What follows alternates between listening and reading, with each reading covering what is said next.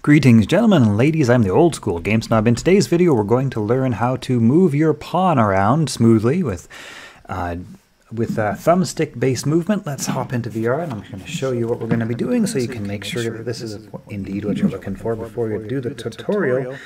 Uh, the the um, directional cylinder indicates which direction the player pawn is facing. Now, with, with my, thumbstick, I'm currently moving the character around in a fixed direction, not based on the location that they're looking. So I can look left, I can look right, I can look around, and it doesn't determine which way I'm looking. Now you can easily adjust this if you want to move based on the direction the player's locating our direction. But I wanted to create sort of a uh, like a hoverboard sort of uh, you know sort of effect here. So what we're going to do in this video is learn how to move your character around independently of which way your character is looking, so you can kind of drive and steer. Now, what I'm going to add after this is sort of a rotational, uh, uh directional, rotational um, uh, controller to my right thumbstick. Right now, this is all on my left thumbstick, so uh, I'll be able to basically move around like a mech, right? A mech warrior, forward, back, left, right, steer. But in this video, I'm just going to show you guys how to move, how to get your your control, uh, your controller moving around with sort of like smooth movement uh, based on thumb thumb stick direction. So hopefully, if that's what you guys are looking for, this is the tutorial for you. In order to do this, what we're going to be doing is we're going to be, uh, of course, so this is the VR starter template kit. Uh, you'll probably want to fire that up. This is Unreal Engine version 5 uh, one. Uh, what we're going to do is we're going to start by heading into the inputs. That's VR template inputs. And what you will find here is an IMC default. Now this is um, basically the same as the uh, old style of doing this, which uh, if you look into your project settings, I'll and you don't need to look into your project settings, but basically we used to do this from the input section over here. Uh, this IMC default is basically the same as your project settings uh, um, input uh, and action mapping. So what we're going to do here is we have our mappings. Now by default you will have this, this, this, and this, and but you won't have this. We're going to add this one. This is the basically the thumbstick directional movement system that we're going to do in just a second. Uh, go ahead and open up your VR pawn. That is again coming with your um, with the uh, VR starter kit when you when you uh, open up the VR starter kit in Unreal Engine. Your VR pawn will look something like this. Now, the first thing you're going to need to do is change the VR pawn class uh, settings to parent class character. By default, this will be set to pawn, so change that over to character. The next thing that you're going to want to do is you're going to want to disable the teleport and snap turn. Now, these are the default movement uh, methods that come with the VR starter starter pack. Uh, now, I've just disabled mine here. You can delete that, but I've just sort of disabled mine for, for, for so in case I want to check on how to do that later. So I've disabled teleport and disabled snap turn. Now instead of that, what we're going to be doing is we're going to create a new input action which is found under the nope not under the character found under the VR template input uh, actions so like I say, have this open. We're going to use that in a minute, the IMC default. Uh, and under actions, here's all sort of the default actions that you get. I've created a new action into my own little folder here called IA Move 2D. So all you need to do to create your own version of that is right click, go to input, uh, and add a new input action. Now instead of actually doing that, I'm just going to open the one that I've created. I've just renamed mine to IA underscore move 2D. I'm going to go ahead and open that up. And this is going to be, and this is, you can just name this whatever you want. This is for your own reference. Um, but what you're going to want to do is change the value type to axis 2D vector 2D. By default, I believe it's digital bool, so you change that to axis 2D vector 2D. that will basically mean that we can move in all the directions. And what I've also done is set a dead zone here. So all you need to do is uh, click plus under the modifiers, add a dead zone uh, and that'll look something like that. And then the lower and upper threshold sort of determine where there's a dead zone. 0.2, I believe, is about 20 uh, is 20% of the thumbstick's uh, distance.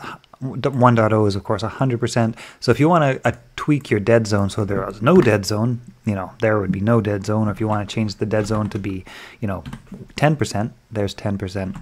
That's my understanding of it anyway. I haven't played around with that too much. But basically what we've done here is we've created an action, uh, uh, an axis 2D vector, blah, blah, blah, all that sort of stuff.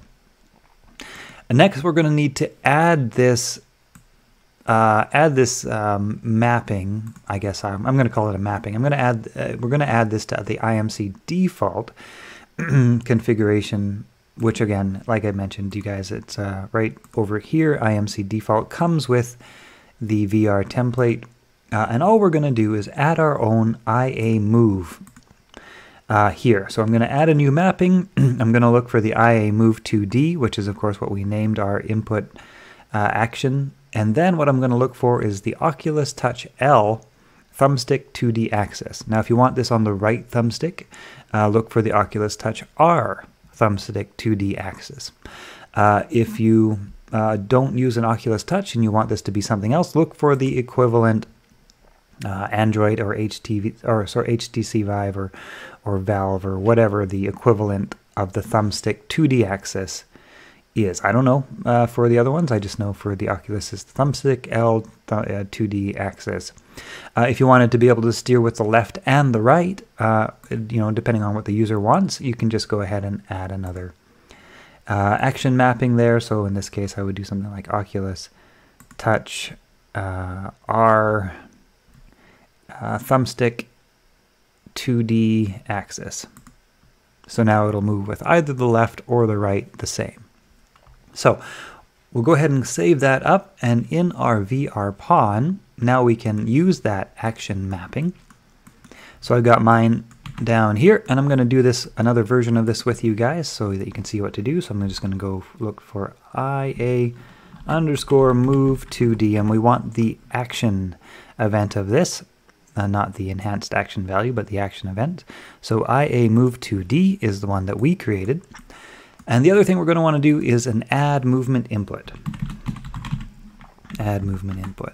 So by default, yours will look something like this. So what you're going to want to do first, uh, you can actually just go ahead and connect that first, but then you're going to want to split the struct, I'll uh, right click split, split struct on world direction so that we have those in the uh, XYZ individual pins. And we're also going to want to split the uh, action value. So then again, we have the action X and the action Y. Now, what I found works in order to move the character in the right direction is you take the X and you plug it into the Y. you take the Y and you plug it into the X.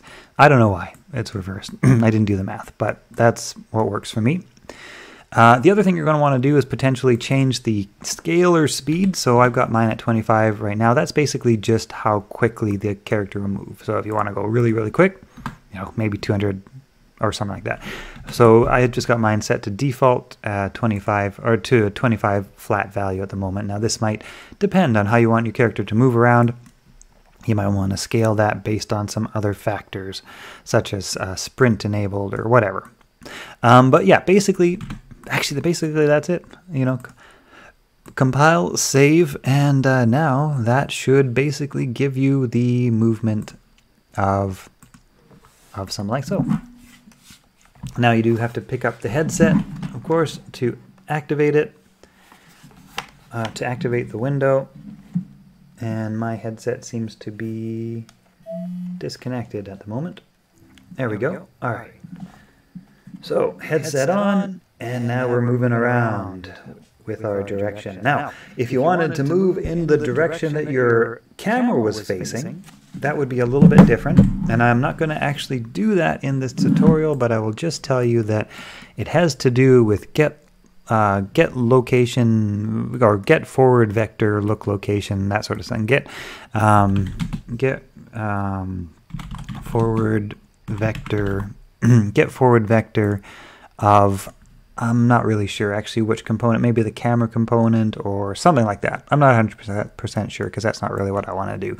But you would basically just get the forward vector, vector of your look, look looking direction and you would put that into the movement uh, as you see fit. Um, and that's it. Hope you guys have enjoyed this video. Now, of course, what I'm going to do is I'm going to add some rotational values to my left or right controller so that I can actually rotate the body with the controller should the player actually want to do that.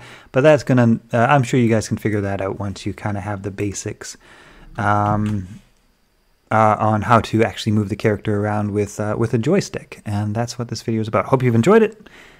See you later.